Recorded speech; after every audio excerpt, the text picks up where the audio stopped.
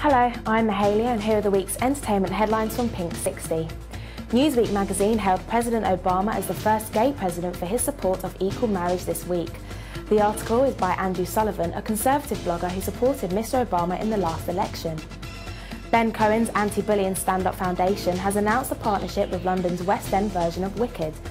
The venture has relevance as the musical story is about a girl overcoming issues with her unusual appearance. Gay rugby teams from across the world will be heading to Manchester, England for the Bingham Cup which runs from the 1st to 3rd of June. Teams like the Sydney Convicts will compete for the sixth annual title, so get your tickets online.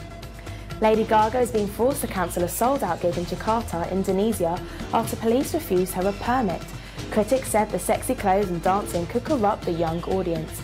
And finally, Mel C is back with a new three-track dance album written and produced by British drag diva Jodie Harsh. The album is called The Night and is available for download from iTunes. That's all from us today. Join us again tomorrow.